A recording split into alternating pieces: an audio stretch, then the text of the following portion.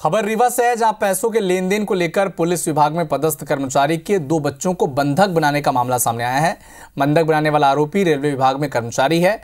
दरअसल आरोपी और आरक्षक के बीच दो लाख रुपए का लेन देन हुआ था और इसी विवाद को लेकर आरोपी ने आरक्षक के घर जाकर दोनों बच्चों को कमरे में बंद कर लिया और इस दौरान आरोपी ने जान से मारने की धमकी भी दी थी।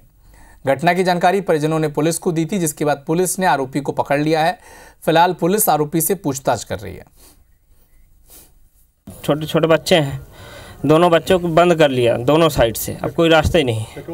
पेट्रोल और नाइफ सब कुछ लिया था और गले में भी रखा था वहाँ से मतलब फिरौती की मांग कर रहा था है ना? कि पहले दो मांग रहा था उसके बाद बोल रहा है कि फिर हमको साढ़े चार लाख चाहिए फिर सोलह लाख चाहिए। उसने घर में आके और एक कमरे में लॉक करके और किडनैप कर लिया है और उनसे चूँकि उनका लेन देन था तो पैसे की मांग कर रहा था ज़बरदस्ती।